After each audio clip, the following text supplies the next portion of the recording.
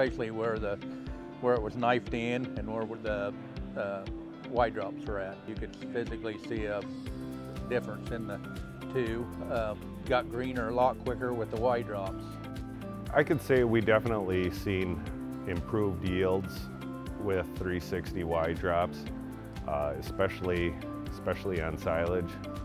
There's some more tonnage out there. We have seen a bump in yield. The ease of use is off the chart.